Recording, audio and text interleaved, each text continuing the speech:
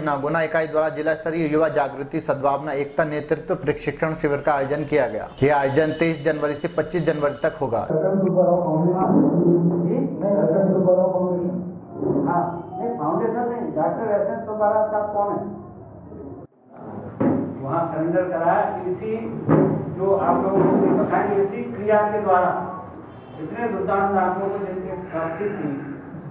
दुनिया उनको वहाँ बुला के हम उनके संग छोटे में रहा हूँ, मैं दस बारह, पंद्रह साल का रहूँगा सब पूरे महीने कैंप रहते थे।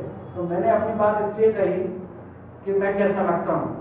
मैंने इसलिए कही कि अगर मेरे में कोई भी एक भी अच्छाई आपको लगी हो, इतने सालों में मुना में उन्नीस सौ बयासी से हूँ। समाज सेवी doctor S N Subbarao ji हमारे बीच में आ रहे हैं जिनने अपना पूरा जीवन युवाओं को समर्पित कर दिया।